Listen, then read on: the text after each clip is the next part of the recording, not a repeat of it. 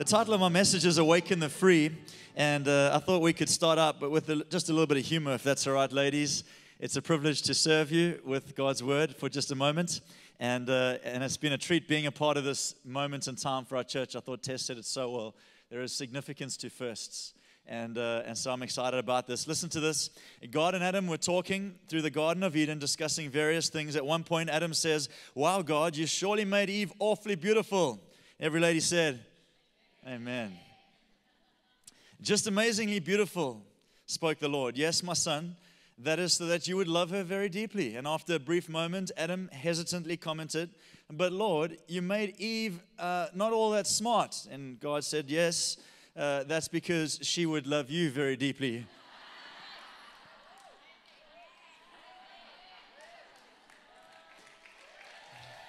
Every part of me knows this is helping my marriage right now. And so, awaken the free. I believe God wants to put freedom in this place today. Nanda, you're awesome. You're a blessing. We love you. And, uh, and we're grateful that you said yes to the invitation. We're better for it. I know your family's with you, and uh, we're just so excited to have you all with us. And this probably won't be the last time we do something together. And so you're a breath of fresh air. I thought between last night, Tess kind of speaking into awakening desire, and this morning, Nanda kind of leading us into what it means to journey with God, being awakened to who He is, uh, that there really is a sense of a freedom coming upon us. Like there's something about those moments when you realize, man, I'm not such a big deal when it comes to the issues I have, the things that hold me back. Like, they're, they're actually in the way of a far greater thing, which is to know Him and to pursue His purpose on my life. And so, awakening desire to Him is powerful. I love how Tess spoke about beautiful are the feet of those who bring the good news. And, and, truth be told, I'm not a feet guy either. And I was praising Jesus for some new beautiful feet right there. Amen. I want to be, I want to be, um, I want to be pretty open and honest with you, ladies, today, if that's okay. Um, and then I thought just the whole idea of the good shepherd, uh, that word agape love, that was such a beautiful picture of how you brought that to us, and, and that He brings us rest in that space. And so I want to speak a little bit about freedom. And I was thinking about awaken, and obviously it's been said already. It's to wake from sleep, or to become aware of something that already is. Uh, that kind of that kind of speaks to me. An awakening is, yeah, literally to wake up from sleep. But it's also to be awakened to the thing that was already there. In other words, it's kind of like God is already doing something. Uh, God already put beauty inside you, gold inside you. Part of the privilege of parenting young girls is to keep reminding them what's already there. You know, they're growing into what is already there. That's why Jesus said, Before I formed you in your mother's womb, I knew you. Like he sees with the end in mind, right? We, are figuring it out. We're on a journey toward awakening to the thing that was always there.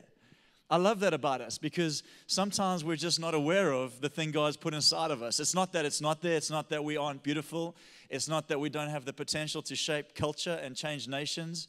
It's not that we don't carry the presence of light in our hearts. It's not that we can't parent children to change the world. Amen, every mom. It's that we're not aware it's, it's there. And so I want to speak into God awakening in us the thing that's already there. And I was thinking about Genesis. You know, the story says that God formed everything and was beautiful. And every day he said it was good. And then he forms man and he says it's good. Amen. And then he and then he said, but it's not good, first time, for man to be alone. First time we hear something's out. And so he makes woman. And we all know the story. Adam awakens to Eve, and we believe in those days they would have been naked and unashamed. Praise Jesus. And, and, he awakens to this moment and he says, Woman, this is now bone of bones and flesh of my flesh. Uh, the Bible language for that moment in time is Adam says, She's it. So, in other words, he's, he's toured the world. He's named the animals, he's checked them out, giraffes, like he's got the whole deal going on. No help suitable for Eve, for Adam. He sees Eve, well, he hasn't called her that yet, but he sees the woman, she's it. Like whatever was missing, it's here now, all right? And, and I, I want to just kind of speak a bit of that into you. You see, I'm a dad of girls, and I believe that women have something beautiful in their hearts that is different to a man. And, um, you know, the, the, the name man in the Hebrew is the, is the name Ish all right not that that matters much to you hey but but if the if i told you the next part the name woman is isha all right, now in the Hebrew language, the only difference between the spelling of man and woman is one little letter in the Hebrew alphabet, and it's the letter He, which is the fifth letter, it's the letter of grace. the only difference between the naming of man and the naming of woman in the creation of the world is grace. In other words, there is a unique grace God gives to woman that isn't on us as men. There is something beautiful about the early name woman that speaks to what you carry that we're still becoming aware of, by the way. Part of the challenge for men is not to find beauty, that's obvious, is to see the grace, the thread that runs below everything that's and obvious in the woman in our world today. And I think the church is seeing it. And so you have this woman, and I was thinking, well, she, she was born, Adam was sleeping. Like, like, it wasn't my master plan to find Tess. That was God's, right? I was fast asleep. I don't know what I was up to back then. And she came past us. I was like, hmm, you know? But Adam was sleeping. But listen to this Eve was born into an awakened world. She wasn't sleeping. Eve, Eve arrived on the scene and it was awake. It was there was life happening. Listen, girls, you were born and created into not a world that needs to be awakened, and a world that was already awakened. And perhaps what's been lost is the sense what was always there. You were born into an awakened world. And so there's this beautiful name woman, Esha, graced one, that was born into an awakened world. And it's pretty and it's beautiful. And then we know the story. Adam and Eve chose to kind of go after their own desires. They were deceived by the devil and, and they went down the road. And suddenly what happened was they started to see their nakedness. This is the story of what we call the fall of man everything God created was good. And then there was this moment where they see their nakedness. You see, up until this point, nakedness was great. It was a blessing. It was beautiful. In fact, I often say nakedness was normal. To say it in another way, who they were was good enough. And then the fall takes place, and who they are is no longer enough. The Bible says, so they start to cover themselves up and they add layers. And we all know what layers can look like. Girls know about layers. Amen. Guy got two items, girl got 300, needs four coat hangers for each one just to be at, you know. Like you should see back there, like the ladies change their jacket and there's like three wardrobes just to choose. And I'm just thinking like layers, you know. Layers. And uh, we layer our Instagram accounts and we layer our, um, you know, our, our, our financial worlds. We make it look like it's awesome, but we're dying and you know, we, we, we lay our relationships. Isn't that the truth? I mean, who you are in the, in the mess of a marriage is actually okay. Why do you layer it? Why do you try and make it look like something it isn't? I loved your honesty. I loved the, just the beauty and the honesty of your story. And, and, and I like that because it's, it's, a, it's a real raw, it's like nakedness is normal. Who you are is enough. We, we don't need layers. We don't need a man on our shoulder to prove that we are worth it. We got God who's already said that. We don't, we don't need layers. We don't, we don't need beauty therapists, although, like Tess said, they're going to continue to exist because they're awesome and they get me brownie points. It's not about her, it's about every time she goes, I win. Selfish like that. But we have layers because we don't think that who we are is good enough. And uh, let me tell you that there may be men out there who want you to be laid up. They expect something of you that's more than who you are. They, maybe as a dad, have even spoken layers of your life because they're expecting you to be or expected you as his girl to be something more than what you actually just were. There may be men out there who, who, who, expect the layers, who want the layers, who desire the layers, uh, but there's one man I know that wasn't into layers. And you see, Adam was a picture of Jesus going to sleep so that the church could be birthed. That's what's going on in the story. It's never about Adam and Eve or you and I, it's all about Jesus and his beautiful bride, friends. And so Jesus goes to sleep and wakes up to a beautiful church. He says, She's it. This group of women sitting in the auditorium in Salt Rock was the whole reason Jesus died on the cross. I know there's many in this girls' conferences. I'm told there's another three happening in Durban as I speak. But I want to tell you, friends, that when Jesus woke from the sleep, which was the cross of Calvary, and he came to life again, because the story always ends with him winning, amen. He woke up and he saw the bride, which is you and I, mixed up and unsure and confused. And he said, This is it. I want these people as they are. And so while there was a man, or maybe there were there are men in your life who, who want something out of you, there's a man who gave a piece of himself for you. And he's madly in love with you. And so if you're going to take a hashtag down today, it simply goes like this hashtag, it's nice to be naked. Why don't you tap your girlfriend next to you, let her know it's nice to be naked. What I'm going to do is just build some marriages while I'm at it. And uh,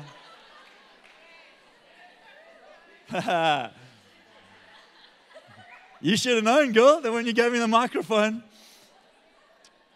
it's nice to be naked. Tap your second choice on the other side and do it again. This is nice to be naked.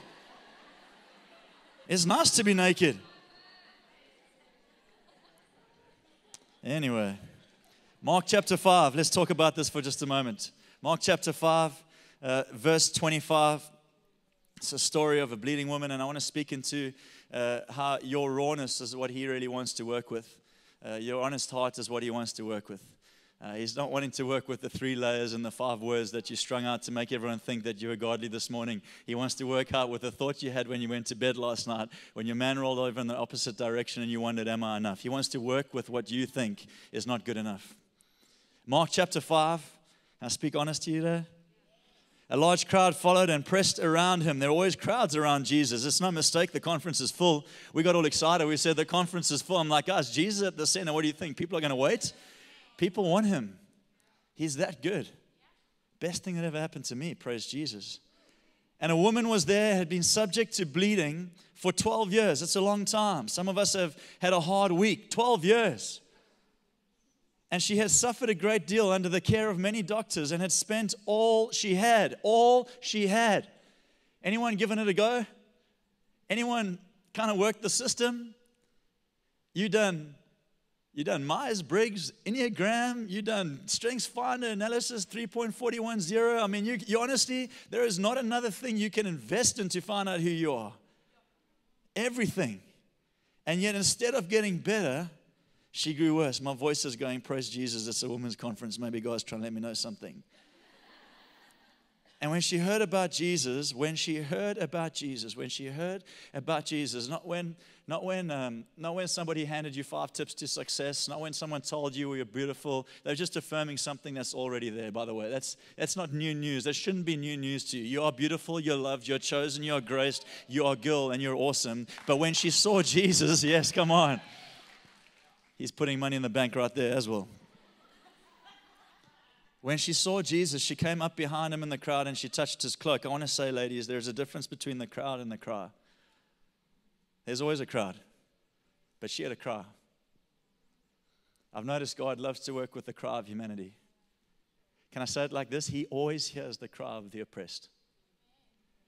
You know, that one of the reasons God moved on the nation of Israel is because He said, I've seen their affliction, I've heard their cry, and I've come down to meet with them, and I will lead them to a spacious place, a land flowing with milk and honey. Let me tell you, ladies, you got, if you got a cry in your heart today, God's got some healing for you.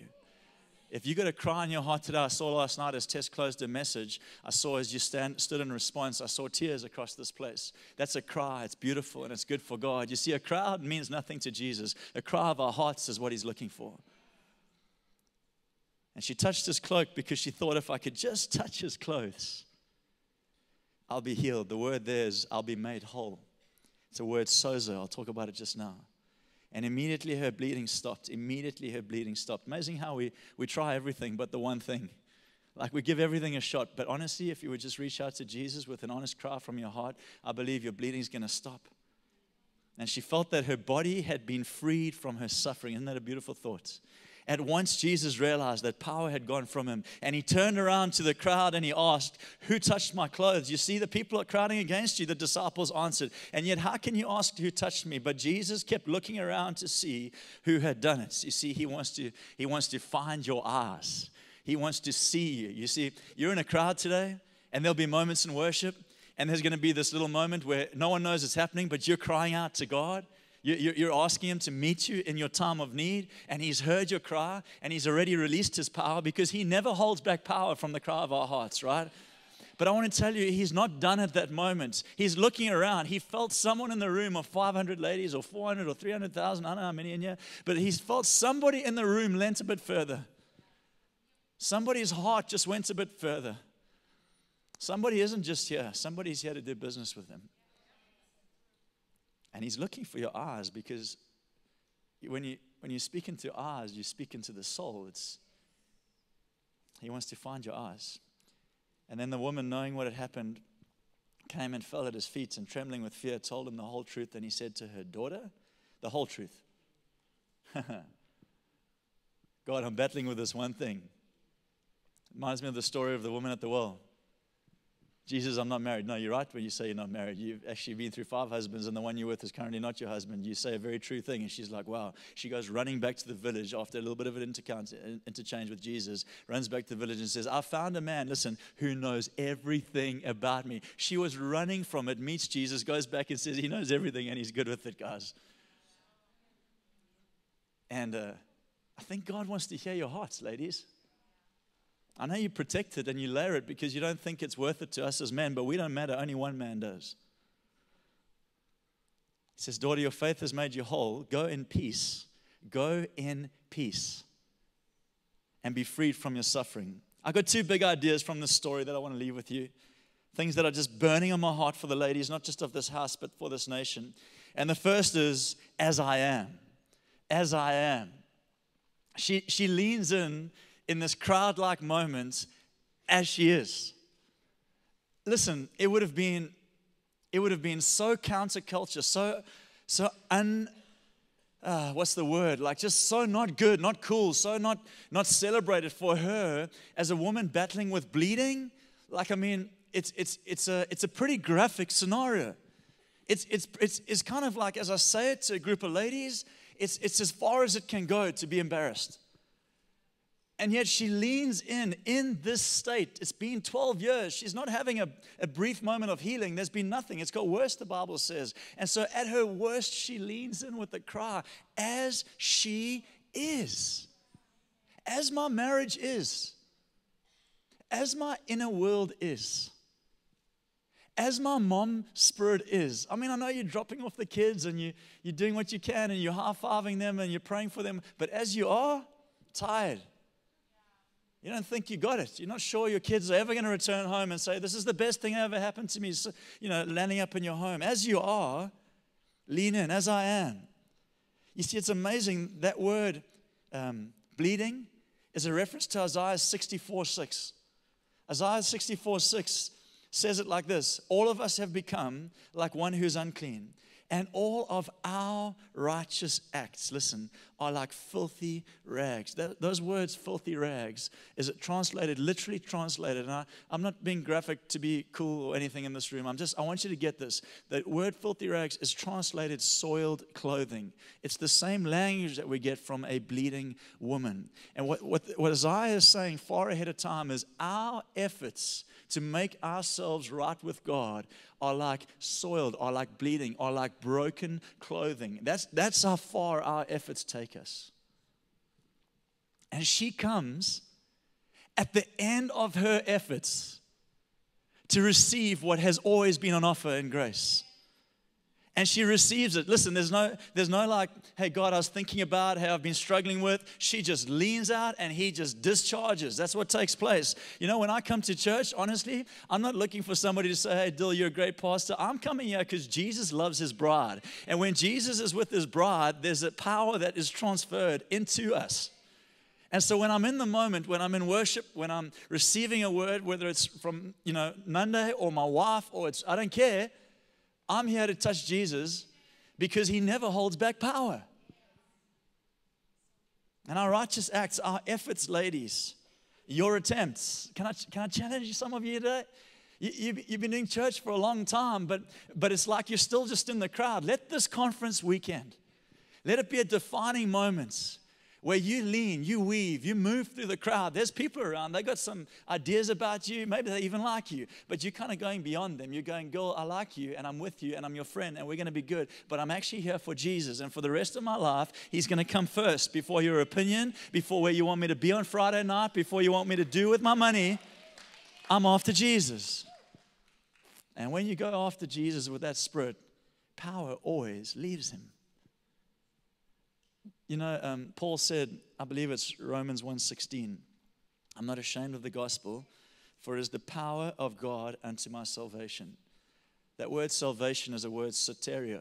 a Greek word, soteria. Any Greeks in the house tonight other than, where's my friend Leanne Patrimos? Am I saying it right? Soterio. She basically said, absolutely not, but don't keep, keep preaching, Pastor. Soteria is, is all. It is, a, it is a word that describes everything. So I'm not ashamed of the, of the gospel, the good news of Jesus, which is what we preach here at Linc Church that make us have beautiful feet. For it is the power of God unto our soterio, unto our total healing.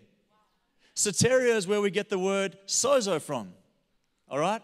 Sozo is what she said would take place if she touched Jesus.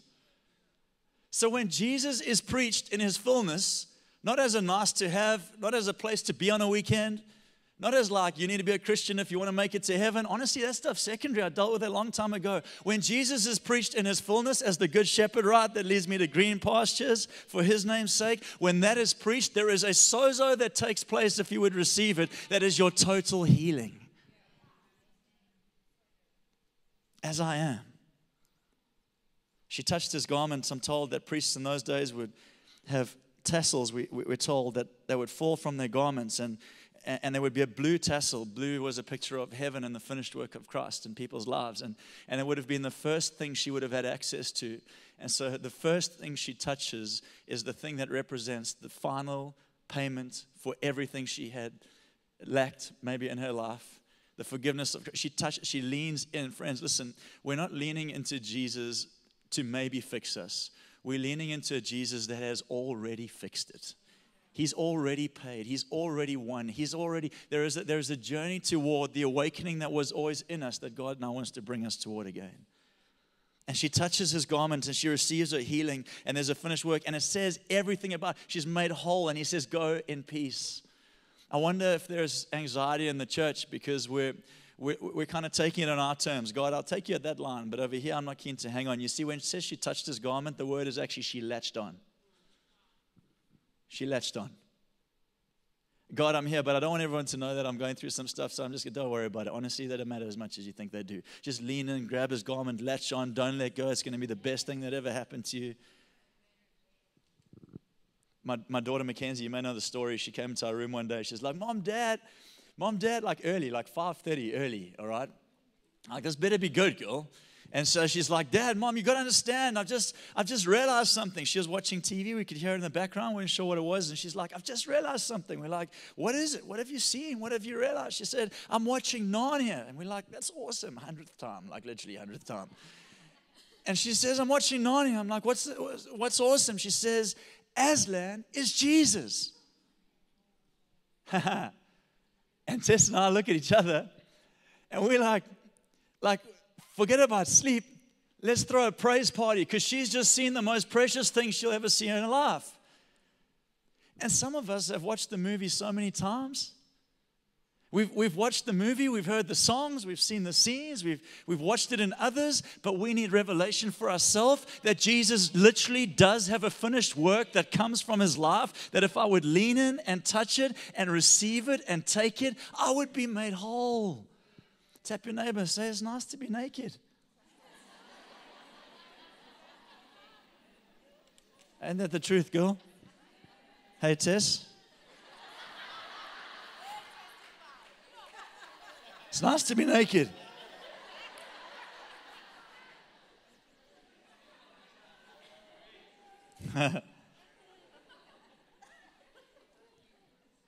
was that song?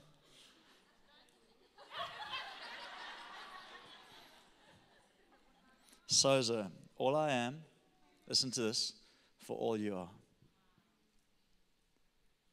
Uh, not just a part of me for a part of you. Not just I bought a tickets that I could be part of the sisterhood brand. All I am for all you are. I just watched the movie, Dad, for the hundredth time, but I just saw what I missed the whole time Jesus. He's the king in the movie and they're safe with him. And there's a rest that is produced when they discover Aslan's heart. And I believe, ladies, God wants to show you Himself in this moment. There are crowds all around Jesus. Think about this. If there's crowds around Him, it's hard to see Him. And it almost requires that we, we weave through the noise to see Him.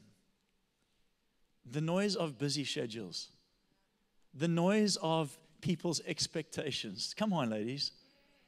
The noise of perhaps words that have been spoken over my life. You know, you spoke about anointing. Anointing is such a powerful thing because it happens from the head down. There's a reason for that. It takes place from the top down. That's why the Bible says don't be conformed to the patterns of this world. Don't get mixed up in what people are kind of going on about. Be transformed. What does it say? By the renewing of your mind, head down. You got to get this into your spirit. It's got to come from the head down. You got to receive it in this moment. It's being preached through the airwaves, but you got to receive it. I got to renew my mind to think Jesus is available to me, and who I am is enough. All I am for all He is. Say amen if you believe it in this place. You see, Jesus is whatever we need Him to be for whatever we're in need of. That's why to the blind He was sight. Hmm. To the thirsty, he was life giving water. To the hungry, he was bread. To the weak, he was strength. To the anxious, he was peace. To the lonely, he was a friend. To the wanderer, he was purpose.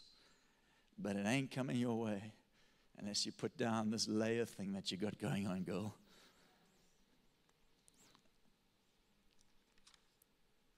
Maybe I'll close. Um, there's a story, I think it's in Matthew 14. Uh, maybe we have a scripture. Did I give you that scripture? I can't remember. But um, Jesus has just fed thousands of people, like he's feeding you ladies now. You know, one of the things I love about Jesus is he doesn't ask anything from us, he just gives. In fact, he's more pleasured by us taking what he offers than by us offering what, he th- what we think he needs it's almost disrespectful to God to think that we can add to the excess that's already there. It's a pleasure to Him, it's respect, it's honor, it's worship to Him when we go, God, actually, there's so much excess up there. You mind if I grab some for my lack down here? And when we receive what heaven offers, when we take what Jesus gives, when we hold on to the tassel, when we receive, as I am for all you are, it's like He smiles and go, Now you're getting it. This is why I came. Bible says not to be served, but to serve. So God is wanting to serve ladies. Serve ladies. Serve you with a word in season, serve you with peace for your heart, serve you with courage for the call that's on your life. He wants to serve you. I know you came here for him, but honestly, he came here for you. You know, Mary and Martha, we love the story. Jesus in the house, Mary and Martha, Mary's sitting, Martha's serving, running around, dishes, I do the dishes in my house, just to say. I cook, clean, make the bed, do the dishes. And Martha's serving, Mary's sitting. And Jesus says, Martha, Martha, Martha, why are you concerned for so many things? What Mary has been after is the one thing that matters. And you know, we preach that message. We say, listen, God doesn't want you to be serving. God wants you to be sitting. That's not true. It's not that He doesn't want you to be serving, He's that He doesn't want the serving to produce weight, anxiety. The issue was never that Martha was doing many things, is that she was concerned for many things. Come on. We need rest. And you have a moment in time now for 48 hours, 24, 48, I don't care. Give it a week if you want to rest and to receive. The beautiful thing about the Mary Martha story is it's kind of like Jesus was saying, listen, if you if you just sit and receive, you go back and do the same many things, this time without concern. it's not that what you were doing was wrong, that was producing in you anxiety. That's not the will of God. So Jesus is um, he's feeding thousands like he's feeding the ladies today. And um, he finished feeding them and he sends them across the lake. He says, I'll come meet you the other side. And as they're paddling across the lake, they come into a pretty vicious storm. And Bible says that the waves are lapping up against the boats and they're getting a bit kind of stressed out. I don't know if you've ever felt like waves lap up against life, you know, they lap up against your boats. And it's kind of like you just, you just come out of a miracle moment in the one sense, something's happening. And now you're in the middle of the ocean and the waves are lapping and it's like what happened? Like which one of y'all kicked me you know? And uh, and, and jesus is now standing it's a movie scene. I think three people in the room caught it but that's cool. I'll just commit rush hour i believe it was.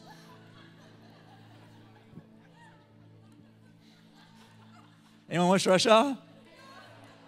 Tap your neighbor and say which one of y'all kicked me?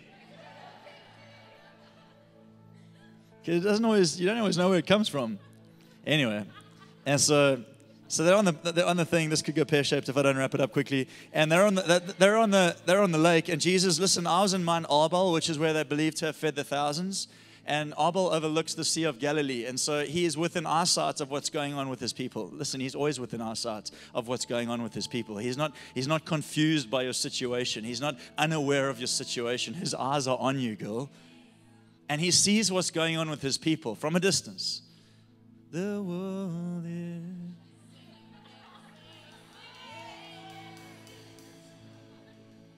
And uh, he takes a walk down and he says he comes walking along the water. Listen, Jesus always walks on the very thing that you're worried about. Waves are lapping. Jesus come walking on the waves. You know, God, I'm not sure where this leaves me in this nation. Is it even safe for me to raise my daughters in this nation? Jesus come walking on the water. God, I'm not sure that I'm going to make it through this season. I'm not sure, God, that I'm ever going to have a place to play in society. Jesus comes walking on the water. It says, it says in the story, he comes to them on the fourth watch of the night. Now, if you go and look at the timeline of an evening, the fourth watch is the final watch. You can Google it, Sister Google, right? You can Google it, and the final watch is between 3 a.m. and 6 a.m. in the morning. That's when Jesus arrives. 3 a.m. and 6 a.m. in the morning is what is the darkest time of the night. I don't know if it feels like sometimes it gets darker and darker. But he comes walking toward them at the darkest time of the night on the very thing that they're most afraid of. Maybe he's doing that for you right now. And there's this whole thing, and Peter walks on water, and you know, Jesus gets in the boats and the storm, storms calm down. But I wanted to ask you a question as I close with you today. What comes after the dark? Dawn always dawn. Always dawn. And it's almost like Jesus gets in the story, Matthew 14, and he sends them off. But he wants to show life is going to present things to them. But he will always show up, sometimes when it feels darkest, but it's just before the dawn. It's just before the dawn. It's not the first watch when the light starts to dim. It's not the second when it's getting a bit worse. It's not the third when you're kind of waking up to a screaming kid. It's the fourth watch when you've got nothing left. It's so dark, you can't see. And here he comes walking. Why? Because the darkest time is just before the dawn. And he's always in those moments. And I believe that there's a new day God is speaking over his girls in this nation. There's a new day He's speaking over children in your home, girls in your home. Oh man, ladies, if you think you're leaving this conference strong, wait until the next generation comes through Awakening Conference 2035 because they're going to be dominating. Stand with me. I want to tell you a little story. We were in um, we were in Mauritius just a few years ago, and uh, myself and my brother-in-law uh, decided to try out sailing as you do, right? And uh, so, anyway, we, we went and got ourselves a little Hobie cat that looked like it could take us to the moon. And, um, and, and, we climbed in this Hobie cat, and there was a bit of a kind of protected bay where we started out. And, uh, and it was nice, and it was calm, and it was just a gentle breeze, and we just floated ourselves across the bay. And uh, we're getting agitated though. It was kind of boring. Life is kind of boring. Isn't that what happens? Like you, you kind of play it safe, and then you go, no, I want to live for something bigger. And then you try the something bigger. And then what happened is we kind of started to push the boundaries. We find ourselves not in the bay anymore. Now we're in the open sea, and the wind's vicious out there. So we just dropped the sails. It's like, whoa, everyone just, just calm down. It's just him and I on a Hobie cat. Never sailed in our lives before. And uh, we looked at each other, and now the boat's kind of tipping like this. We're not going anywhere, but it's kind of violent. I feel like that sometimes. It's like, I'm not going anywhere, but it just feels unraveling. I'm, my life doesn't seem to be growing. It just, it's just overwhelming. And we had this moment in time where we looked at each other and we are like, we can either float here in the middle of the bay and wait for those guys with the little rubber dinghy to come and save us in front of our families, or we could hoist the sails and check what takes place, you know? I want to tell you, ladies, we hoisted the sails. And within a split second, we went from being idle in a storm nearly half over to being accelerated across this bay. We were locked in, literally locked in. I mean, I'd seen it in the movies. We lived it out in real life. We had our feet locked in. I had my hand on the water, and it was, I was like, woo! And I was just going, and my hand was touching the water, and the boat was lifted up like this, and it was amazing, and it was exhilarating. And all it was was just shifting the sail just a little bit. Just a little bit. God told me when I came here today, He said, Tell the ladies to adjust the sail just a little bit. And tell them to sit as they are on the boat. And tell them to expect all I am in the boat. But just let them know it's not going to happen with the sail down. I need you to shift your sail, girls. So come on, let's pray. Let's believe that God is going to do that in this moment.